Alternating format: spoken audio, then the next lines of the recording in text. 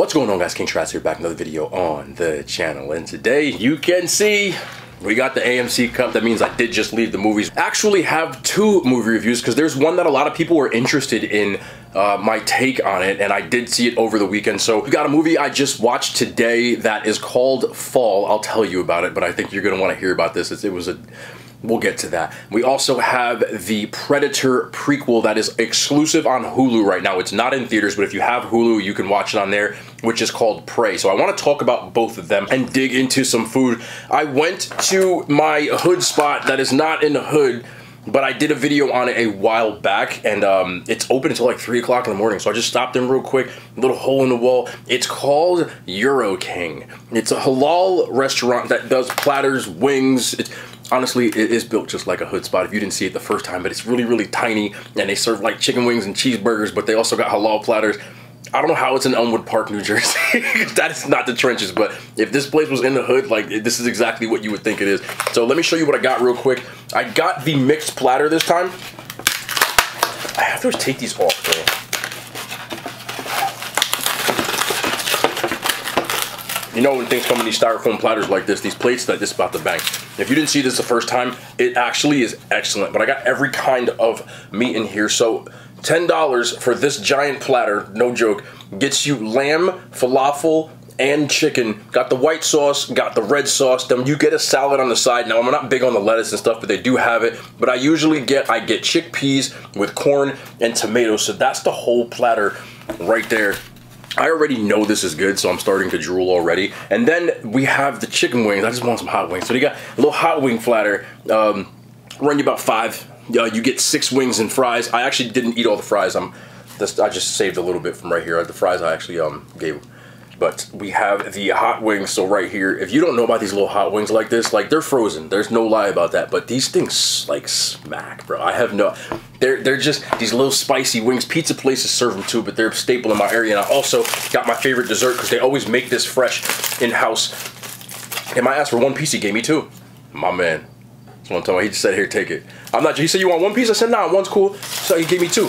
So we got some baklava, one of my favorite uh, desserts in the world. I had this the other time and it is actually very good.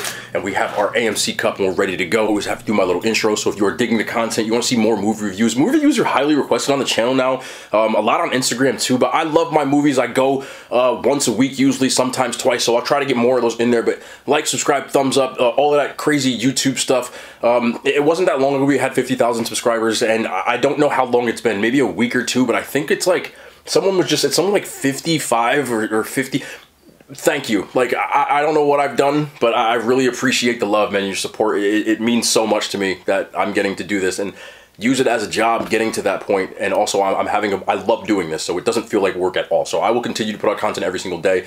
Um, we've done that. Again it's, it's over three months at this point and, and I'm not gonna stop anytime soon. But anyway let me get into this platter and let's talk about these movies. Bro I gotta talk about this. Also, Philippines. I know there's a lot of people from the Philippines watching. I love you. You gave me crap because I didn't use a fork. Uh, I used a fork instead of a spoon when I was eating uh, the sisig, and I understand that. And you might be new to the channel, but I always used to yell because I hate forks. But I was lazy that day and didn't have a fork and didn't want to get up. We don't use forks on this channel. I never do. Like, I don't know. A lot of people said it was a Filipino thing. It's a me thing, too. I'm with y'all. I just want y'all to know that. But I was lazy. I don't want to get up. Once I sit down in this chair, I'm not trying to move. Sorry, I get sidetracked. You know how I get down. Gotta talk about this movie, bro. I swear, I did not see this coming. The plot, let me show you this real quick though. Look at this platter, bro. Look at this chicken. The white sauce, the hot sauce is on there. And the rice. Mmm. Little this lamb too, real quick. And of course, I didn't have their falafel last time. Oh, the inside's green. That's good. It's always a good sign. I've seen falafel where the inside is not that color. It's got to be that color. This is good, man. You know, hood spot prices too. I got the deluxe platter, it costs $10. The other ones are like $7. And you get a lot of food. Anyway, the movie I saw today, it's called Fall. And I'm not going to give away any spoilers. But I'm just going to talk about this because it's in the previews. Okay? Any plot points that I'm giving away, you know what you're seeing before you get into it as long as you see the previews. So, basically, these two girls climb this giant tower, like a TV tower, It's like 3,000 feet high. No, I'm not exaggerating. I think it's 2,000, but still high, super high. One of the tallest buildings in the United States. And they get stuck. That's the plot. If you like movies like Open Water, um, 40, was it 47 meters down below or something like that? Um, you know, movies where people are like in these ridiculous situations, you will love this movie. I had an absolute blast watching this movie. I was legitimately sweating the whole time. If you are afraid of heights, it's hard. It I can watch horror movies all day where people are getting all kinds of stuff done to them. And this movie had me anxious the whole time. Like had me edge of my seat wondering what was going to happen. It is was such a fun watch. When I went, I was in the AMC Thrills and Chills theater, which is much smaller. There's about 20 seats in there. There was probably about 10 people in there. Maybe. And you can hear everyone's reaction the whole time. When I tell you that I said multiple times watching this movie, oh hell nah. Oh hell nah. Nah, man. Over and over again. I mean, that is to me like a movie experience that you need to have. When I think about going to the movies, there's obviously good movies no matter where you watch them, but this one specifically, like, if you are a person who likes to go to movies, I highly recommend this. It was such a fun watch. And sometimes you forget that movies to me, like, it's, it's, it's more of an experience than just being at a good movie. These days with HD, uh, IMAX, um, 4K, the home movie experience might not be the same, but it's a lot closer than it used to be when movies were more popular. There are certain movies that are built for the movie theater, and this was one of them. I saw this, I always just check my AMC app, and I just looked at the coming soon and whatever, and I saw this plot, and I'm like, yo, this, I have to watch this movie. So I just booked it, no questions asked, and I went to, man, I am not joking, Gucci, when I say this.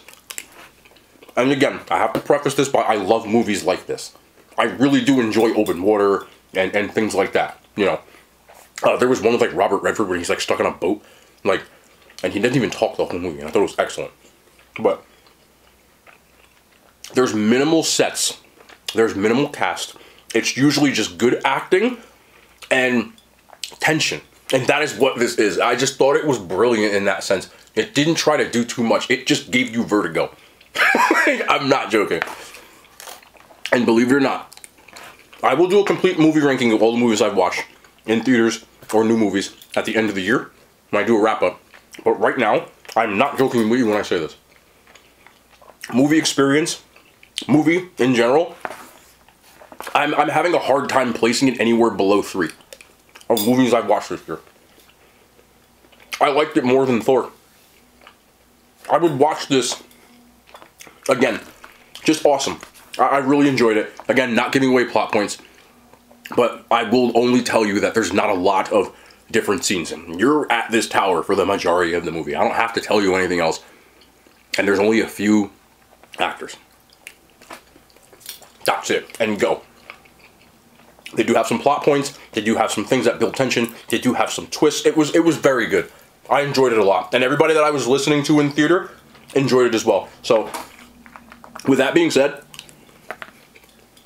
I would honestly, believe it or not, give that movie four out of five stars. I really enjoyed it. I rank it higher than Thor. I rank it higher than, than Doctor Strange. I rank. This is a movie to watch in the movies. 100%. Tension, whole time, edge of your seat. Movie's about an hour and 45 minutes long, so it's not a crazy long movie, but it didn't feel that long. The runtime did not feel long at all. And I highly recommend if you go and watch it. I had to bring this one up. It wasn't one that I was doing for like content, it was just one that I was going to watch because I'm a fan of movies. But I had to get this review in here. If you watch this far, go watch the movie. Excellent. Now we're going to talk about Prey, the Predator prequel. I Also want to eat this chicken wing before I get into this. Y'all don't know about these wings right here, you go to your little hood spot, they're going to fry this up nice and perfect for you. It's frozen, but there's something about these that when they put it in a fryer, they hit diffy. Let's listen.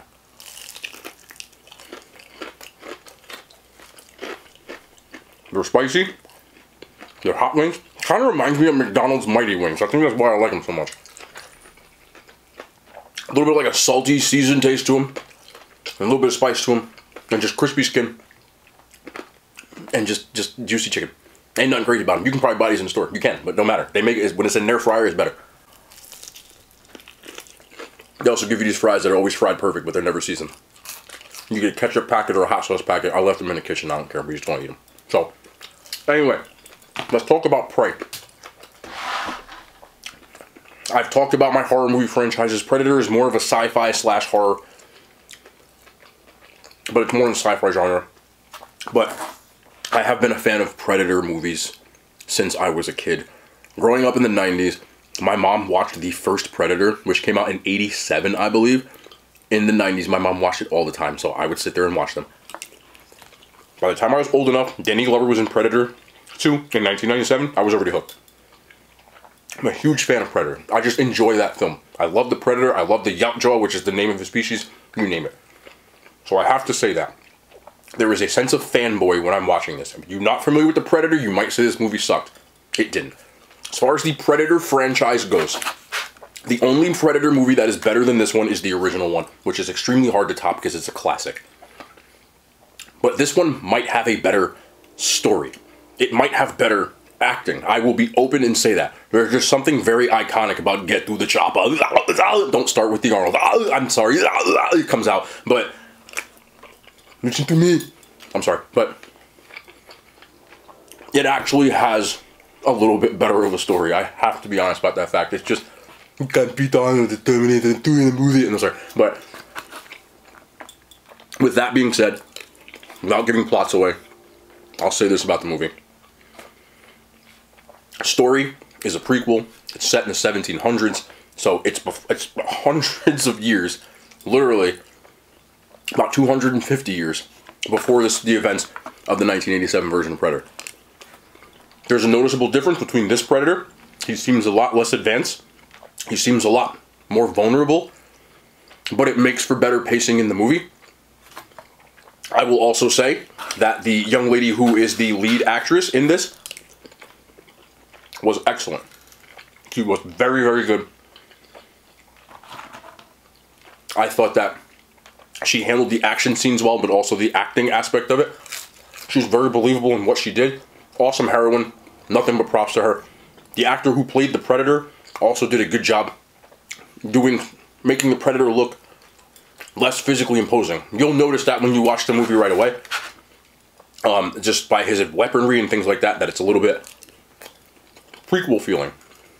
But the pacing of it, I don't think it ever had any slow runtime aspects where you're like, okay, this is taking too long.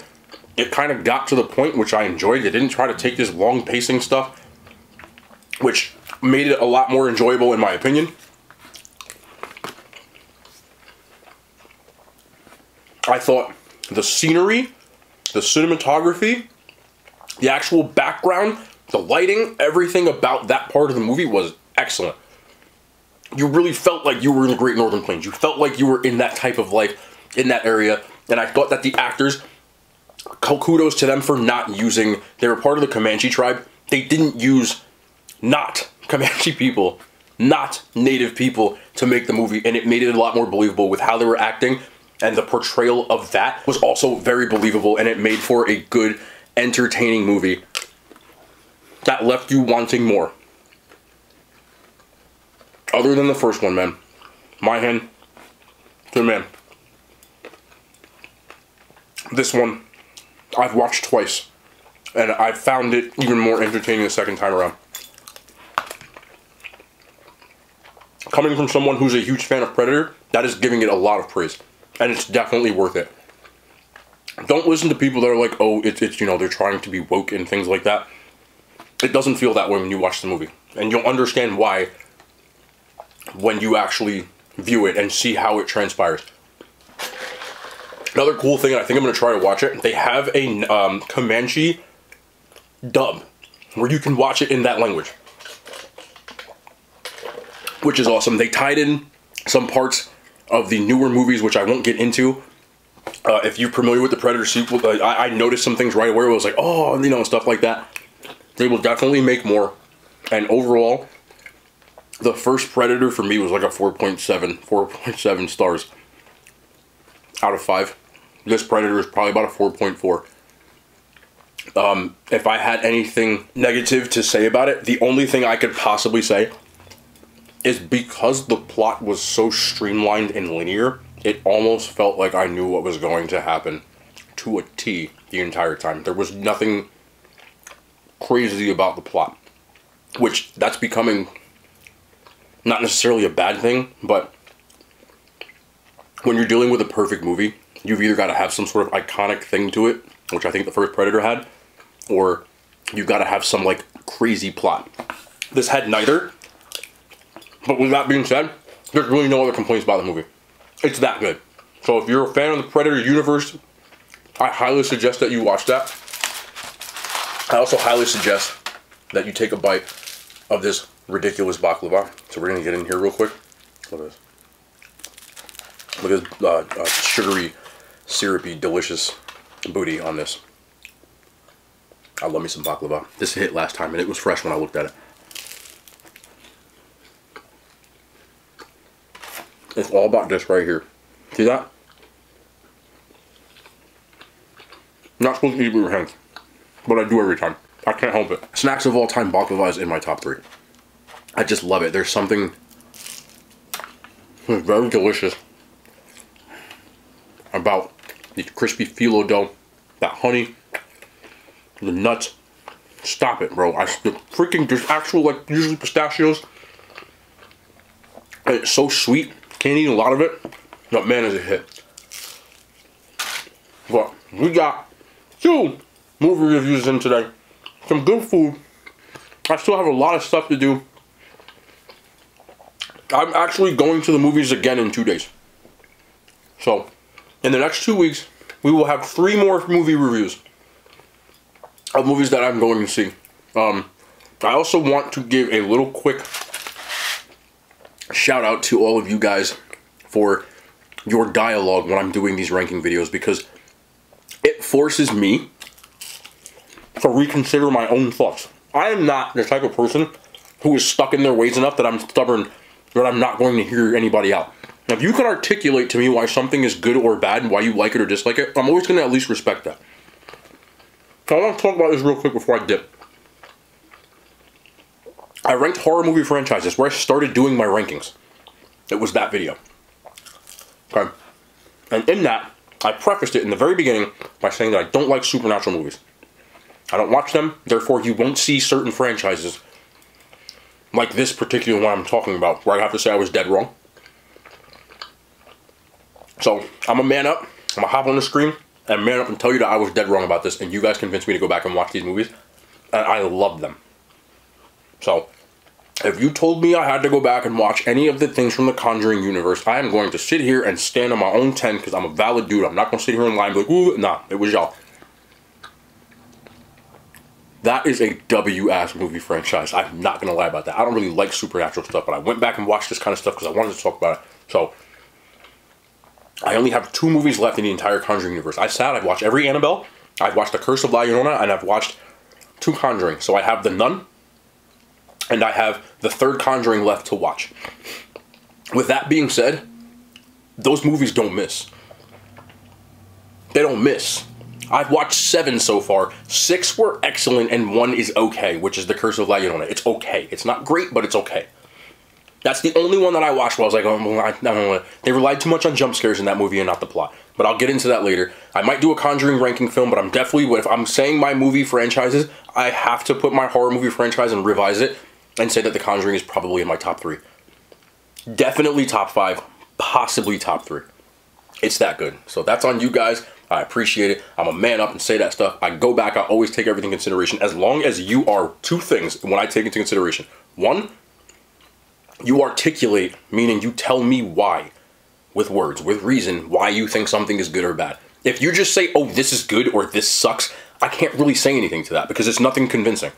But if you can articulate it then you can have a dialogue, and I have no problem with that. And number two, as long as you keep things like, don't try to low bro me. You know what I mean? I don't talk to nobody like y'all kids. Don't talk to me like a kid. So don't be like, yo, you're an idiot. I'm not gonna let like. Let's keep it respectful. When people are that, I'll talk about anything. You feel me? So keep doing that when I do the rankings, all the other stuff. Just don't sit here and tell me like, cause I'm not gonna talk to you like that. So don't be sitting here like, oh, you stupid and like blah blah blah. You know, I don't respect you. Like, don't little bro me, bro. We we family. Y'all ain't gotta talk to me like that. Cause I'm gonna come at you with respect. You respect me too. But either way, I'm gonna give y'all that one. Y'all can hold that W. Anybody who said go back and watch The Conjuring, it is definitely there. But I'm gonna go take more bite of this before I dip. I got a, a clogged kitchen sink, bro. I had a plumber here earlier, so I have to prep some stuff because I come in in the morning before I go to work. I'll keep it a full stack. I think it's a clog, something, I don't know what's in that drain, but I don't have no damn hair. Maybe it's a mustache. I don't know what it is. But we're going to find out. But we'll be back, though, tomorrow. More content. Man, I love y'all. On hand signs. They made it to YouTube.